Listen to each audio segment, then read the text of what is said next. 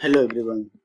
I'm going to uh, share some code how to write uh, the reactive form validation in angular 17 so let's start uh, here. I have already created a angular validations project. So uh, see here is the architecture of the angular 17 this one is the src folder and this one is the app folder. In the app folder uh, these are the files that uh, I've created default. Uh, so uh, in the angular 17 basically uh, few feature uh, introduced. I have already covered in our the previous video. I have added in our description box so please go and see what's new in Angular 17 what other feature also cover so let's come to the reactive form validation using angular 17 here. See here is the uh, version that i have already installed. Angular 17 see, see here the angular cli 17 1.1 and node 1 node uh, version 18.15.0 package manager this ones and window os is my x64 see these one also installed here. So come actually i have I already set up r1 so this will help us to uh, save your time. So i don't want to take your much time so i have already prepared this one. See here is the app component. I have uh, i have uh, created the form as well. So see here the i have set up. I will explain all, all one how to uh, write see the app component here. I have created here. So keep in mind when uh, once we uh, go to the formal lessons uh, we'll need to import the angular form ng form form module reactive form module and common module as well.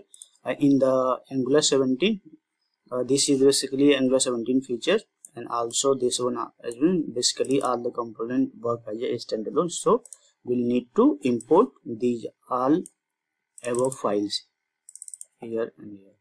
This will help us to uh, validate your form and create your form.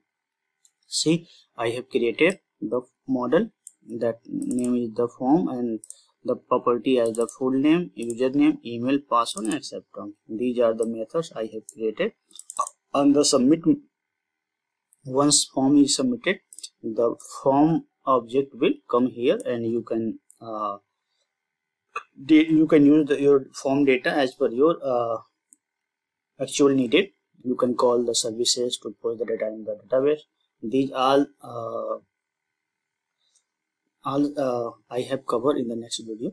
So please comment if you need. Uh, the reset button basically used for the reset the form. Now come to the html see here I have already created the bootstrap form. So uh, you can uh, use the bootstrap as well in Angular 17 so there are two methods. You can install the CLI command. I will share in the comment box the CLI command for the bootstrap also for the simply you can uh, use in the index.html file this URL I will share in uh, all the detail in the description box the comment box as well. So you can also i will also share the github code link. So you can download and see everything. That i created. Comes to the uh, form. See here is the form. I have uh, created. The name of the uh, form is a form and ng form. Uh, basically i have created the alias of the form. So see here and here is the submit button. Submit action basically uh, submit action. The if form is valid the submit button is hit. Uh, you can see here uh, the submit actions. Once all the validation is passed then submit button will be here. Otherwise they will display message on the form. These are the basically uh, the the form group that I have created. See first one is the full name the full name is the input type full text. Name is equal to full name. And the directory ng model i have used to bind the form dot full name. That is uh, that is the form dot full name here. That's very similar to I have uh, bind the username email password and accept terms as well. See uh, here. Also added the required validations and the alias of the text with the full name. Uh, the name of the alias I have used to uh, full name dot error. If any error will come they will display the message. See here I have added the div that will help us to uh, display the message if any error on this field. See if a, full name dot error is required that will be display this message. And, and very similar for the other one the username. I type is equal to text class with the bootstrap class. Name is equal to username. Directory ng model used for bind uh, form dot username required. Basically use for the required. Validations and min length and max length as per you. You can define the 6 to 20 or anything you want. I have the alias for the username this uh, and also uh, use the ng class directive to uh, display the message. See here i have created uh, the div display the message. This one basically the required message. Once error required this message will display once min length is not uh, as per you if suppose you put the 5 length that will message at least character 6 if you uh, exceed the limit 20 that means you, you type the 25 this message will display. These are the uh, field that I have already created. You see here the type is to email and and bind the value ng model uh, form dot email required email type is equal to email and alias of the email. This one i have bind this one. And also these div will display as per uh, once email is required other one if image is not valid. This message will be displayed on the form. See here is the password type validation password validations i have already added. Here the required min length max, max length as per you, can change. And name is equal to password and created alias the form alias of this text ng model so see, see here password error ng class i have added. Uh, here i have added the three field. Uh, basically once form uh, once field is required message will be displayed here. And if min length and max length will be display once uh, min length and max length not in between. Come in the last i have added the checkbox for the accept terms the accept form that accept terms i have bind with the ng model active. So see i this one the required name of the alias i have created to bind with the ng class directive here is the label that will be displayed with the checkbox and this one is the basically the message. If once terms is not checked this one basically the uh, button that i have used the submit button. Once perform on this register button the form submitted with the submit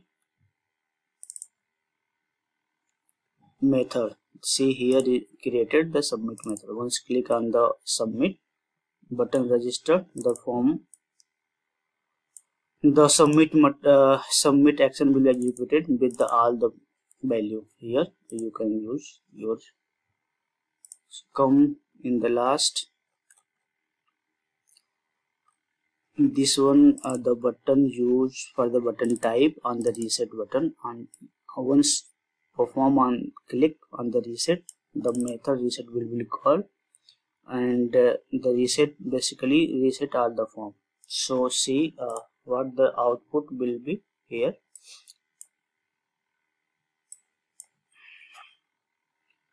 Run the form and this out.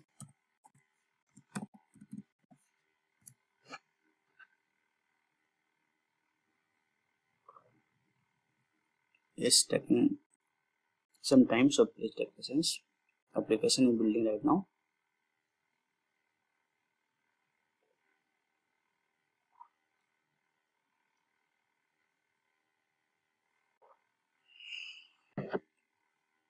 now application is built.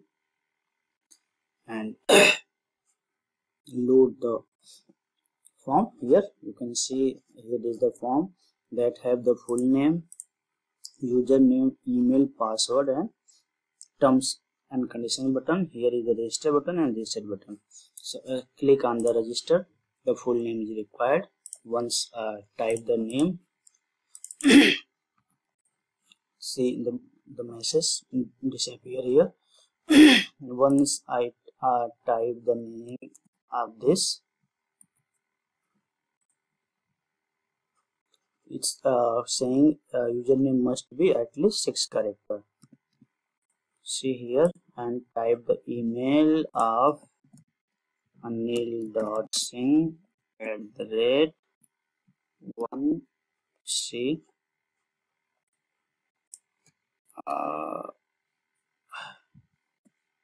gmail.com once uh, the password password must be at least six character so I have added. See here the terms. Once uh, click on the submit button.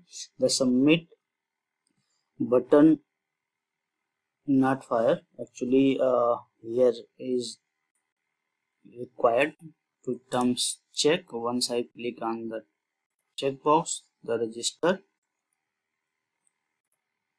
action button will if I see the output I have uh, inspect come to the console. See here is the form that I have log uh, in the console log see here is the form data I have logged the console log that will be displayed. There's uh, see once I click this one the value I have come and you can use this value as per your need. Once we need to reset the form click on the reset the value will be form. Click on the the all the message disable once click on the reset this form will be reset here. I hope uh, you learn about this. So uh, i will share this code with you. Uh, uh, you can download the github. So thanks for watching this video. I hope uh, you got this point. Uh, if any uh, query please uh, add in the comment box and also requesting to subscribe my channels and hit the like button. It will encourage us to prepare the other video as well. So uh, thanks for the watching. Thank you